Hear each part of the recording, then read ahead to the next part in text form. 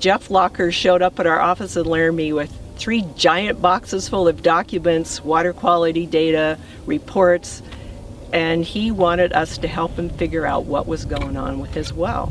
He had one sample when he first financed his ranch that indicated he had really good water quality. And four years later, it had degraded and had gotten worse by about 10 times. I've spent most of my life in Wyoming, and there's not that many projects where I've gotten this deep into it. It's clear to me that the reason that not much is happening here is political pressure. And, you know, to be that callous towards these people that this is where they live.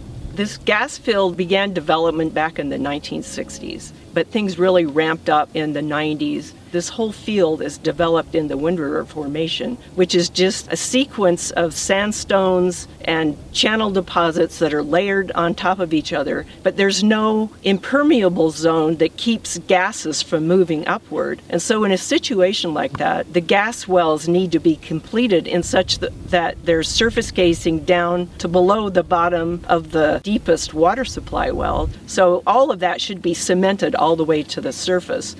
And 52% of the wells, there is a big space between the production zones and the bottom of the surface casing. So there's this whole open space which can potentially allow communication of gases and fluids from these intermediate zones. And it just sort of mobilized that methane that was farther down in the lower zones because of these improperly constructed wells. And if they would have paid attention to that and checked on these wells and how they were being constructed, we probably wouldn't be here.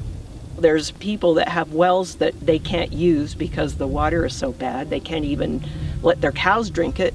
Groundwater is probably our most important resource. To let this go on for 10 or 15 years and these people still have no water except for a few bottles delivered once a week is it's just not right.